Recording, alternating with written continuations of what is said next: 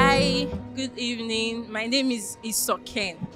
So this is my wine press. Okay, so I came for wine press for the first day, the second day, and the third day. Then when the prophetic section was going on, I came out. I told the pastor the issue. Pastor laid his hands on me.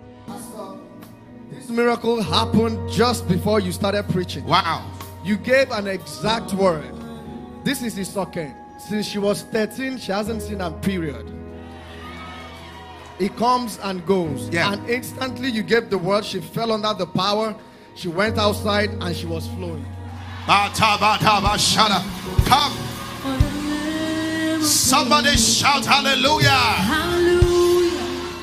I went back and I checked, but there was nothing. I stopped seeing my period. My period comes very irregular. It comes once in a year. I think the most it has come is two or three times in a year.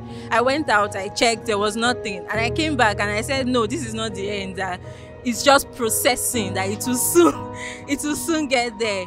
Okay, so we started the worship section. Then the moment Pastor B got on the altar, the first thing he said was, "There's a lady here, and you've not seen your period for a very long time." And I keyed into it, and immediately I felt something in my stomach, and I felt when I got up, I decided to go check. But this time, I didn't just go to the bathroom to just check. I took a pad with me.